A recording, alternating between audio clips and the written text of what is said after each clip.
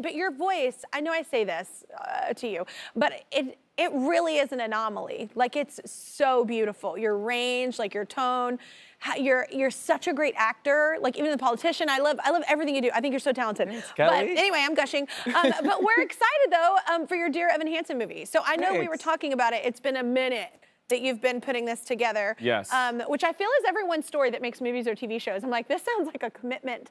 Everything is a is a big commitment. But is it is it weird to play like a 17 year old? Do you feel weird about it? Of course. I mean, this is a really specific situation because I created the role on Broadway. I workshopped it and did like out of town tryouts for like four years Yeah. um, with the writers. And so, like, very much feels like the character has a lot of myself in it. Yeah. And so, obviously, under normal circumstances, I would kind of be done playing a, a high schooler, but this Yeah. was a very spe- specific project. And I really wanted to sort of immortalize the, the performance and, and, Um, and no to one else can do it.